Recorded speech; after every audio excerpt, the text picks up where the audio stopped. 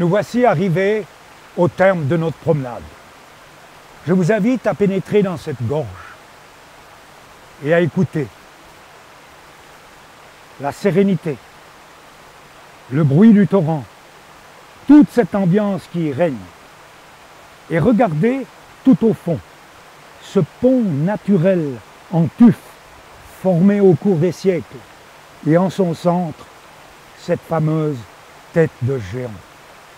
Car il faut savoir qu'en 1873, Gustave Courbet a peint ici la caverne des géants de Saillon.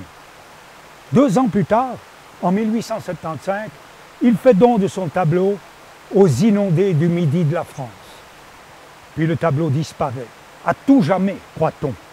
Or, en 2002, un instituteur de Saillon le découvre pendu aux cimaises du musée d'Amiens, en France. Alors que Courbet lui avait déjà donné le nom de la caverne des géants de Saillon. Grâce à cet instituteur, ce tableau a pu retrouver sa véritable identité et surtout a pu être apporté la preuve qu'il avait bien été peint ici, dans ce paysage, dont la ressemblance est encore aujourd'hui extraordinairement frappante. Il faut aussi savoir que grâce à cet instituteur, en l'occurrence Claudie Raymond, ce tableau a pu quitter le temps d'une exposition, les Cimaises d'Amiens, pour venir à une manifestation culturelle ici à Saillon durant une dizaine de jours.